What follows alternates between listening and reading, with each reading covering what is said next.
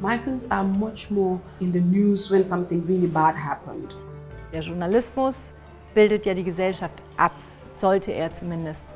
That's important that people understand that their way of, of seeing the world is not the only way of seeing it.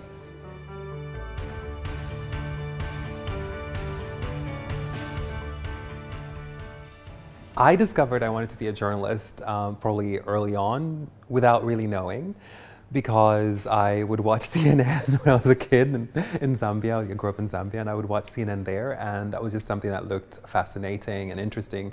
And I always wanted to write, so I wanted to tell stories and journalism does that a lot. Also Journalismus ist ähm, erstens ein einfach toller Beruf, weil man sich mit vielen Themen beschäftigen muss, mit Menschen reden soll. Man hat auch das Gefühl, dass man ähm, gesellschaftlich irgendwas dazu beiträgt, dass wir vorankommen. I choose journalism because I am so much passionate about information and giving out information to informing people. And I'm a very curious person. I'm from a country that actually, um, at that time, there was like really dictatorship and um, women are also not venturing into journalism because they thought it's dangerous. And for me, I actually go for things that people wouldn't do.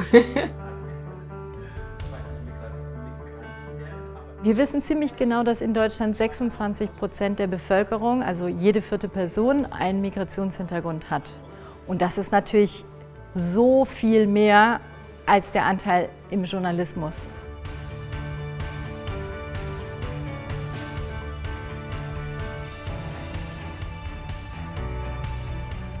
etablierte Medien haben sich sehr lange überhaupt nicht geöffnet und die haben Business as usual gemacht, also so weitergearbeitet wie immer. Also man, man kommt da eigentlich nicht rein, weil das ist so ein geschlossener Club. Und viele JournalistInnen, also Medienschaffende, die Entscheidungsmöglichkeiten hatten, Leute einzustellen, haben gedacht, ja, Migranten, die können alle nicht gut Deutsch, die passen vielleicht nicht zu uns, die sind vielleicht zu befangen, wenn sie berichten sollen, die haben nicht diesen objektiven Blick, den ich habe. At the beginning it was tough.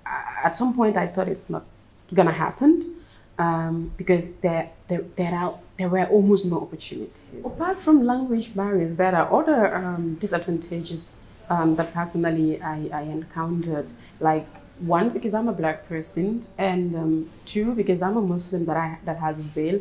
Increasing representation in media is extremely important because, first of all, it's really about the credibility of the media, you know, the media and how they are perceived. And if we want to keep the audience and make sure that people also see themselves in the stories we tell, we need to be as multifaceted as we can be and have as many perspectives as we can.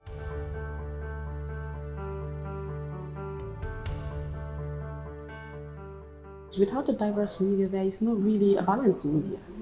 If it's not diverse, it is not balanced because they would report it according to how they want it, how they want to sell their news, not on the experiences or perspectives of the, the affected person that they are reporting about. Certain people are always portrayed stereotypically, even when it's done with a good intention of trying to be as empathetic as possible, it's sort of like those people who need to be helped and they're helpless.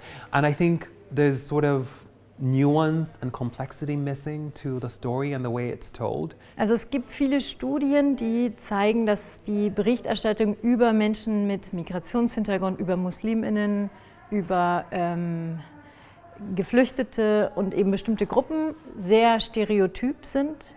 Die Bilder sind oft ähm, anonym, also man sieht Menschen von hinten, man sieht große Gruppen auf einem Boot mitten im Meer, aber man sieht wenig Gesichter, persönliche, also Menschen sozusagen, die man, ähm, mit denen man sich identifizieren kann.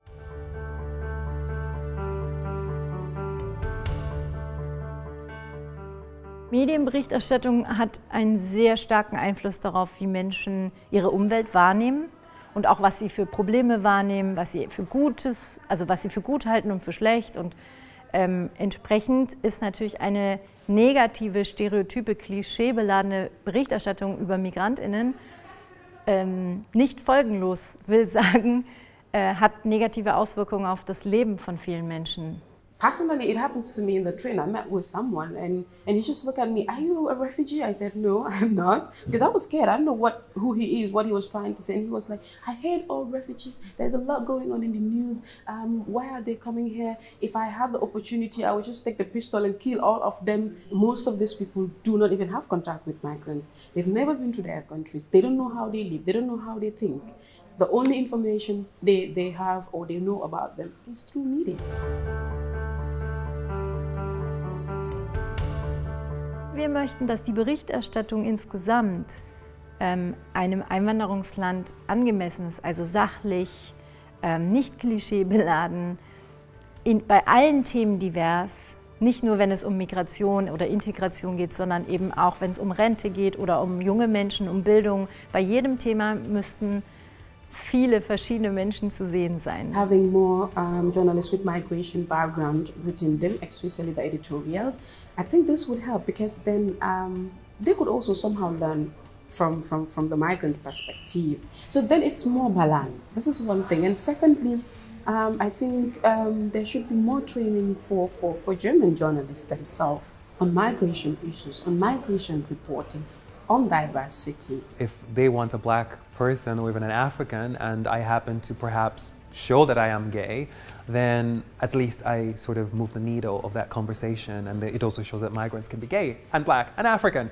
which a lot of people, and also a journalist, which is a lot of people don't always expect or suspect in a place like Germany, because of course there is such sort of this image of what that means. Eigentlich sind alle Menschen, die einen Migrationshintergrund haben, plus Menschen. Leute, die eine Sprache mehr können oder mehrere Sprachen mehr. und Leute, die verschiedene Geschichten mitbringen, ganz andere Geschichten als die anderen und ähm, Sichtweisen mitbringen. I think media houses need to create goals and set targets. They just need to make sure that they can reflect society as it is.